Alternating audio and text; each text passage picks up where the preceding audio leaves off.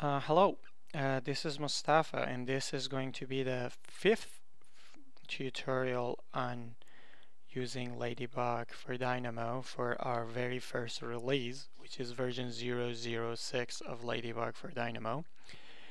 Uh, in the last videos I talked about uh, taking the EPW files in, uh, we use the location data from EPW to draw a sun path then we stop there, we say, okay, that's the sun path, now we need some test points. In the previous video, I showed you like how to generate test points and I showed you the legend parameters and how you can use some values to color that surface and test points uh, based on an analysis.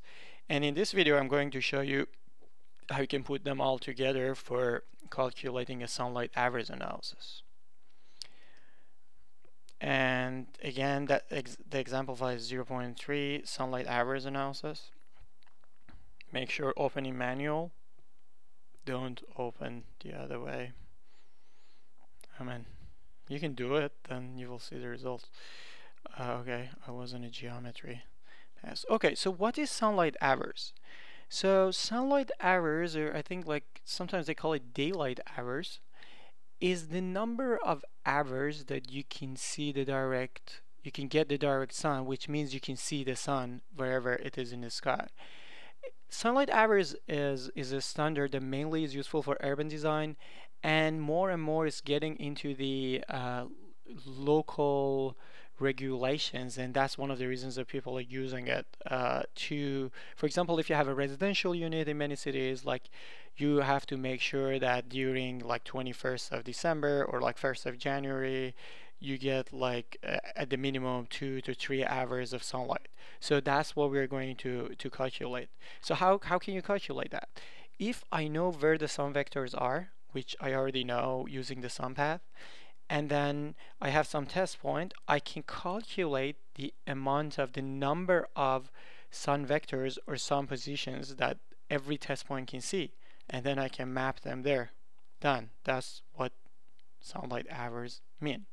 Okay, let me go ahead and start doing this, but I disconnect sun vectors from here. So we can just check, uh, and this is important for any analysis. Don't run it, just check what you're doing, make sure everything makes sense, and then go for the analysis that can take some time. So what we have here is again we have two geometries uh, the two surfaces that I generated here. Uh, I just rotated a little bit one of the surfaces to make it a little bit more interesting. Not really interesting but again like if you're using it like on top of Revit you can just take whatever geometry that you have from Revit and bring it into into Dynamo. Here the the sun paths that we check together. So what what's happening is uh, there is a file path. You get the location from the file path connected here for the location and then we are drawing the sun positions or sun vectors for the 6th 21st and uh, between hours 7 to 20 which which is like the, the daylight hours. You can you can leave this to 1 to 24 and the sun paths will filter them but this is just like think this is when you, when you know something. And again I connect the error report to a watch because I hope at some point I get an error so I can show you how to fix that. Uh, and uh, maybe we get an error here from this guy. I don't know. Let's connect this here. Because sometimes the same file which is working easily here you run it again and it gives you an error. I think I don't know why exactly but it's easy to fix uh, so I want I wanted to show it to you in, in the videos hopefully. Uh, okay let's go ahead and run it. So what will happen is we will get the surfaces the the test points will be generated but but this is not going to run and the reason it's not going to run is again as I said just check the uh, inputs and if there is no underline on the right that's a required input. Sun vectors is required. It's not there so this is not going to run. And again in Dynamo because that's not connected. You can see this is like light gray. It means this won't be executed but when it's dark gray it means like this has all the inputs and it will be executed when when you run it. Okay so I'll just go here and press run and let's see what will happen. Run started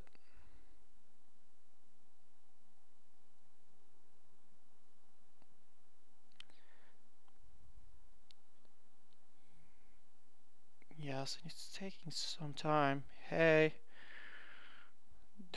Dynamo crashed. So I didn't want you to see this, but sometimes it happens. Close the program. Let me open it again and see like if it's gonna happen again. Yeah, like be ready for that. Like it's still like Dynamo is still under development. Uh, Ladybug is under development, and uh, many times it's really hard to like point finger to someone and say that's your fault or your fault.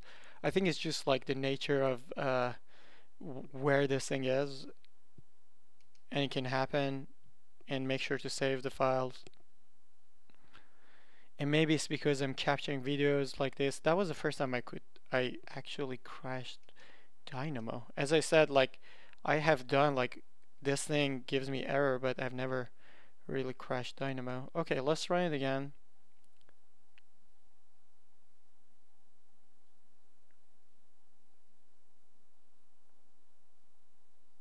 And fingers crossed.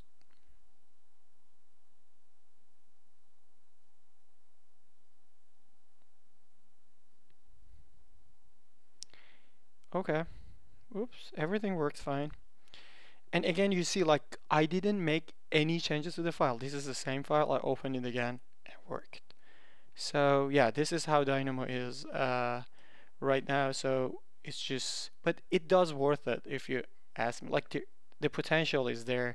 Yes, there are stuff like still under development, but it's important to learn all of them and get yourself familiar with all the stuff with all the possibilities so when it's really mature like you'll be the people who are really going to enjoy like the new possibilities using something like Dynamo on top of Revit, which I think is amazing. Okay, so this is what we were talking about. Uh, the surfaces are generated, the test points are generated, the sun path is generated. So now what I want to do, I want to measure for every point like how many suns are you going to see like the way is to draw a line right from every point to all this sun positions and intersect them with the geometries and this is what this component does or node does and you can see that it's not executed again why and my mouse is just like strange yeah, this is not Dynamo. This is me capturing video and I had this issue before too. So, okay. So now the reason this is not running is because sun vectors is not connected. Where is sun vector here? So I just take my sun vectors. It's kind of funny when you see them like comes with a delay. Actually interesting. So now if I run it, it will run the sunlight hours. I get the sunlight hours and I use color surface and I use legend parameter to color it. I'm using 6 which is the color scheme that Ecotect used to use in like people are love are in love with that color set for some reason. I mean I like it too, it's not bad. So we have it as one of the color sets and I don't know whom we should thank for like one of the users once uh, put it all together. Okay, let me run this while I'm talking. And now it will run the sunlight hours analysis. Sunlight hours and radiation analysis, we realize it takes like, it uses so much, oops, very fast and it didn't use that much of memory. Okay, basically you're done. So now you can see they are all uh, colored based on the values. Uh, it will be darker back here and in in in Ecotect color set like the yellow is the is the highest and and orange is less. Maybe we should use another color set because in Ladybug is actually the other way. So the more red it is this means like the more of the values and that's why we need a scale there. And I use this and I hope it doesn't crush anything. Okay it just did a strange thing. I wanted to zoom extend let's try again. No it doesn't like it anyways okay this this is kind of like what we we got here. We have the result we got this. And um, uh, I want to finish this video by making Dynamo crash. So uh, one thing which is really which should be really interesting is to be able to see to map the values here as you can do in in grasshopper right? You want to see like the value as a text next to this point. Grasshopper has this thing um, called okay now I don't remember the name it's under analyze I think labels uh, by point and a string which what it means, what I understand from it is like if you have a point and you have a label, the label should show up on the point. So okay, let's select the first test point that we have. Uh, to do that, I bring a flatten uh, node and if, if you're new to Dynamo, what I did, I left click and it gives me this menu that I can type. It's the other way like so if you're a grasshopper user you're gonna go crazy for a while because you always double click to type and then when you double click it will bring a code block. It's kind of like when you work with Photoshop and AutoCAD at the same time and then you get confused about shift. So it's kind of the same thing like it's not new for us we just get used to stuff. So I just use the test points to connect them here and then I select the first test point uh, which I don't know where it is but it doesn't really matter Oh, and this is like the power of code block. So I can click there and type x0 and then when I click here so it creates an input for me which has x because I typed x here and then it gives me an output. It means if I connect a list here it will select the first item. There are nodes that lets you uh, select the first item under the list but I think like this code block is really powerful. I really like it. Okay, so now I have the point.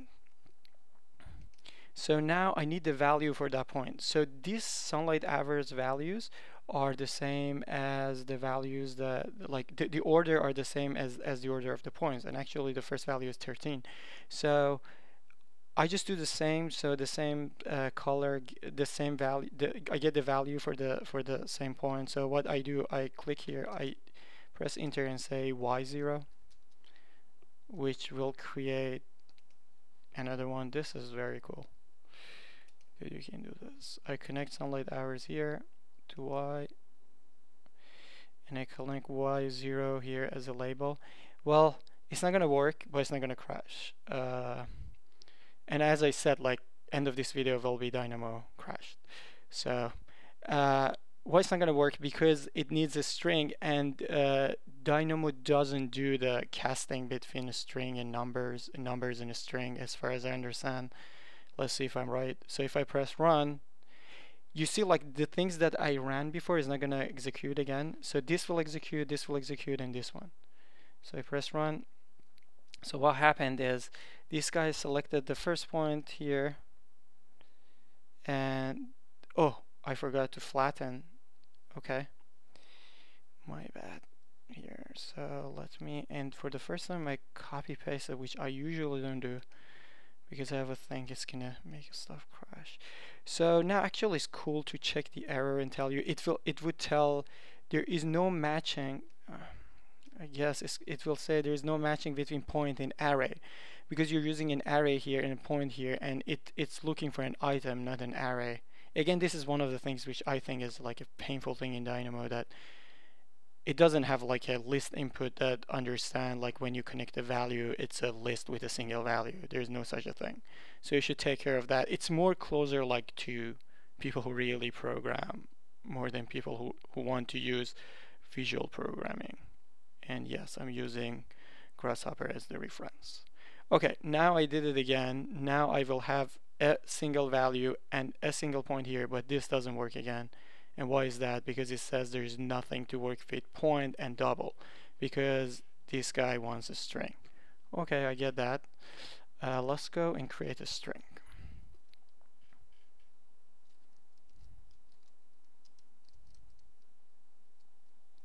So you can type here string, which is like a string. So now here you have a string from object, which is what I want. So what this will do Ugh. Not this one. Sorry. What this will do is it will take an object, which in this case is the is an integer, 13, uh, and then I connect it here as the label. So it gives me the string and it will be connected here as a label. So okay, I run this and it will crash. And if it doesn't crash, it means like it's how helpful it is if you want to show uh, an issue to other people. It's gonna work. Okay, run, boom, crashed. Yes, it crashed and if you check the details, it says 13 is not a valid value for property name. It's a bug with the by point and a string, but whenever this thing is gonna work, this is the process to see the numbers there. Um, am I going to report this to Dynamo team? Yes, of course I will. So you can submit the bug to GitHub, but I think I just send them the link to the to the video. But you guys, if you don't do a video or something, submit the bug to GitHub. It's pretty easy. You just click here. It will open up the the page for you and I'm trying to bring the page here and then you can say new issue and copy this error that you have here and say this is what I did like capture screen and something and this is what happened they are pretty responsive and and and as I said this is under development so and it's going to be something that you're going to use for a long time especially if you're a young person watching this video or if you're an older person, so many people on your team are going to uh, use this. Uh, so your project time is going to go for this. So I think it's better to to report them so all of us will have a better interface at the end of the day. Okay, thank you for watching. Uh, and I think this will be the last one for tonight. I will do more videos on the sky calculation and radiation uh, later, and then I will upload them in the same playlist. Uh, stay tuned. Again, uh, you can follow Ladybug on Twitter. Uh, we have a Facebook page, and then you know the group on Grasshopper, and you know the GitHub. Thanks for watching. Cheers.